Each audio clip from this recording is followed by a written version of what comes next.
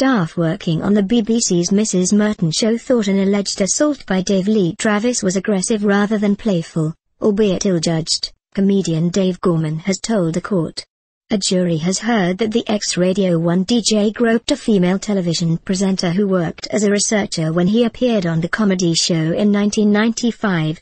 Show scriptwriter Mr. Gorman said it was office gossip to some extent. Mr. Travis denies two counts of indecent assault and one of sexual assault. Victim shaking Mr. Gorman said he had been told that as the woman was escorting Mr. Travis back to his dressing room, he at some point grabbed her breasts. My recollection was everyone in the team would have known, Mr. Gorman told the Southwark Crown Court retrial.